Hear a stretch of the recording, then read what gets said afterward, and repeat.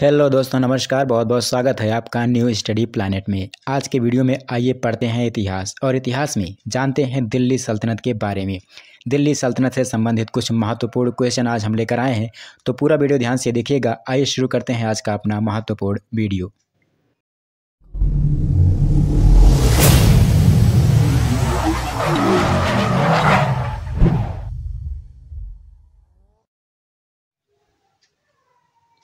हमारा आज का पहला प्रश्न है, गजनी का वह प्रथम शासक जो खलीफाओं से सुल्तान की उपाधि धारण कर सुल्तान कहलाने वाला शासक बना। विकल्प हैं, सुबुक्तगीन, महमूद गजनवी, मोहम्मद गोरी या फिर अलप्तगीन तो जो सही उत्तर हो जाएगा, विकल्प भी हो जाएगा महमूद गजनवी। आपको बता दें कि महमूद गजनवी ने एक हज़ार ईस्वी से एक हज़ार छब्बीस ईस्वी तक भारत पर सत्रह बार आक्रमण किया, जिसमें सोमनाथ मंदिर पर जो आक्रमण एक हज़ार पच्चीस छब्बीस में हुआ काफ़ी महत्वपूर्ण है।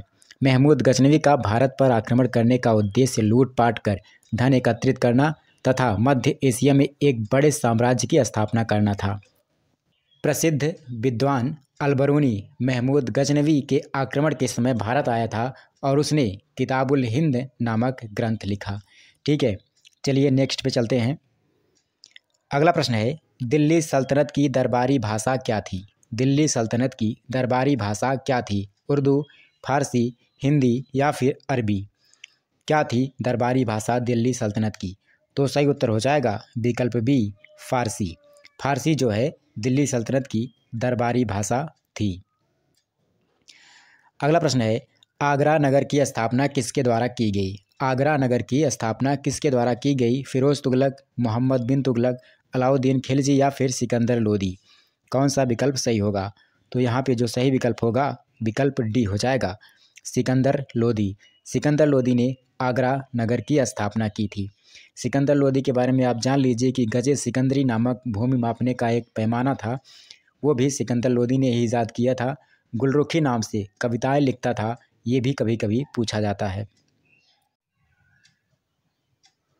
अगला प्रश्न है दिल्ली सल्तनत का वह पहला सुल्तान जिसने अस्थाई सेना रखी थी कौन था? अलाउद्दीन खिलजी, बलबन, इल्तुतमिश या फिर मोहम्मद बिन तुगलक? किसने रखी थी अस्थाई सेना पहली बार? तो सही उत्तर हो जाएगा, अलाउद्दीन खिलजी। यहाँ पे विकल्प ए हमारा सही हो जाएगा। ठीक है। अगला क्वेश्चन है, मोहम्मद गोरी का संबंध किस वंश से था? मोहम्मद गोरी का संबंध किस वंश से था? यामिनी संसबनी गुलाम वंश या फिर खिलजी वंश। किस वंश से था? मोहम्मद गोरी का संबंध। तो सही उत्तर हो जाएगा विकल्प बी, संस बनी।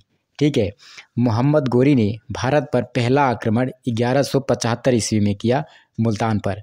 मोहम्मद गोरी का पृथ्वीराज चौहान के साथ युद्ध काफ़ी महत्वपूर्ण है, जिसमें पहले पृथ्वीराज चौहान ने गोरी को तराइन के पहले युद्ध में हराया था, फिर तराइन के दूसरे युद्ध में गोरी ने पृथ्वीराज चौहान को हराया था।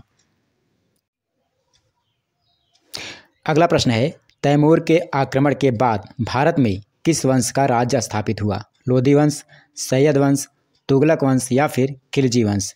तो यहाँ पे जो सही उत्तर हो जाएगा, विकल्प भी हो जाएगा सैयद वंश। ये भी क्वेश्चन बनता है कि तैमूर ने भारत पर आक्रमण कब किया? तो याद रखिएगा तेरह सौ अट्ठानवे ईस्वी में। और उस समय किसका शासनकाल था? नासरुद्दीन महमूद तुगलक का शासनकाल था जब तैमूर ने भारत पर आक्रमण किया। ठीक है नेक्स्ट है, निम्नलिखित में से किस सुल्तान ने बेरोजगारों को रोज़गार प्रदान किया? अलाउद्दीन खिलजी ने, फिरोज तुगलक ने, मोहम्मद बिन तुगलक ने या फिर शेर शाह सूरी ने? कौन सा विकल्प सही होगा? तो यहाँ पे जो विकल्प सही होगा, विकल्प बी होगा, फिरोज तुगलक। फिरोज तुगलक ही वो सुल्तान था जिसने बेरोजगारों को रोज़गार प्रदान किया।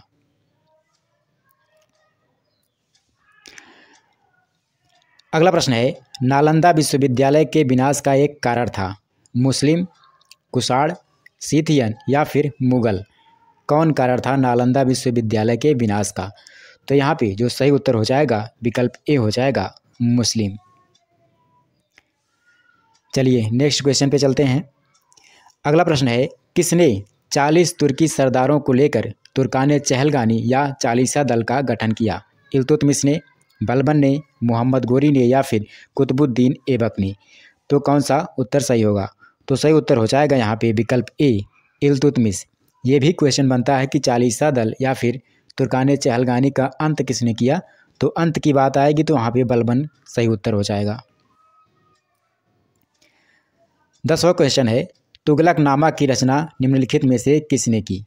तुगलक नामा की रचना निम्नलिखित में से किसने की? विकल्प हैं अमीर खुसरो, गुलबदन बेगम, गयासुद्दीन तुगलक या फिर इसामी। तो यहाँ पे जो सही उत्तर हो जाएगा, अमीर खुसरो हो जाएगा, जिसको क्या कहते हैं? तोताए हिंद। नेक्स्ट है, सैयद उस सलातीन की उपाधि किसने धारण की? सैयद उस सलातीन की उपाधि किसने धारण की? बलबन ने, फिरोज शाह तुगलक ने, अलाउद्दीन खिलजी ने या फिर इल्तुतमिश ने? तो सही उत्तर हो जाएगा, फिरोज शाह तुगलक। विकल्प भी यहाँ पे सही हो जाएगा। सैयद उस सलातीन की उपाधि किसने धारण की? फिरोज शाह तुगलक ने। अगला क्वेश्चन है, दिल्ली सल्तनत का वह कौन सा सुल्तान था जिसने सिजदा और पाबोस की प्रथा शुरू की? बलबन, गयासुद्दीन तुगलक, इल्तुतमिश या फिर रजिया सुल्तान? तो यहाँ पे जो सही उत्तर होगा, विकल्प ए हो जाएगा। बलबन ने शुरू की थी सिजदा और पाबोस की प्रथा। नेक्स्ट है, दिल्ली सल्तनत का वह कौन सा सुल्तान था जिसने दोवाब के आर्थिक महत्व को समझा? कुतुबुद्दीन ऐबक ने इल्तुतमिश ने अलाउद्दीन खिलजी ने या फिर मोहम्मद बिन तुगलक ने? कौन सा उत्तर सही होगा? तो यहाँ पे जो सही उत्तर हो जाएगा इल्तुतमिश विकल्प बी यहाँ पे सही हो जाएगा। ठीक है? नेक्स्ट है रजिया सुल्तान को सत्ता से हटाने में महत्वपूर्ण भूमिका किसने निभाई थी? तुर्कों ने, अफ़गानों ने, मंगोलों ने या फिर अरबों ने? किसने निभाई थी? महत्वपूर्ण भूमिका रजिया सुल्तान को सत्ता से सत्याच्युत करने का। तो यहाँ पे जो सही उत्तर होगा, विकल्प ए हो जाएगा तुर्कों ने। रजिया सुल्तान को सत्ताच्युत यानी सत्ता से हटाने में महत्वपूर्ण भूमिका निभाई थी किसने? तुर्कों ने। ठीक है अगला और आखिरी प्रश्न है इस वीडियो का। सुल्तान बनने से पूर्व किसका नाम जौना खां या फिर जूना खां था? मोहम्मद गोरी का, मोहम्मद बिन तुगलक का, बलबन का या फिर फिरोज तुगलक का? कौन सा विकल्प यहाँ पे सही होगा? तो जूना खां या जौना खां, किसका नाम था? तो सही उत्तर हो जाएगा मोहम्मद बिन तुगलक। विकल्प भी यहाँ पे सही हो जाएगा। तो इस वीडियो में फ़िलहाल इतना ही। अगले वीडियो में एक नए टॉपिक के साथ आपसे मिलेंगे। तब तक के लिए नमस्कार। और हाँ अगर आप हमारे वीडियो पर नए हैं तो चैनल को सब्सक्राइब ज़रूर कर लें।